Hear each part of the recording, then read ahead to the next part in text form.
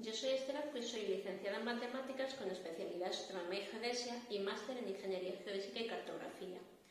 Yo trabajo en geodesia, que es la ciencia que estudia la forma, figura de la Tierra, su campo de gravedad y cómo todo esto varía en el tiempo. En particular, entre mis labores como ingeniera geógrafa en el Instituto Geográfico Nacional, está mi trabajo en los centros de dos grandes técnicas de geodesia espacial.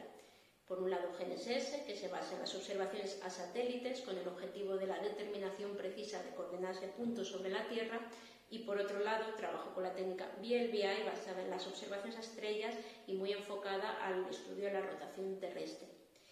Con estas técnicas obtenemos información útil para la sociedad, coordenadas, parámetros atmosféricos y otra información que podemos aplicar para estudiar los cambios globales de nuestro planeta. Un referente para mí a la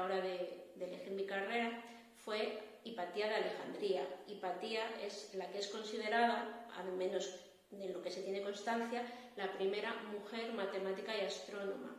Hipatía hizo algo muy importante, que es que no daba por sentado nada de lo que sí que se daba por sentado en su época. Y, a mi parecer, esto es muy importante en cualquier proceso de investigación científica.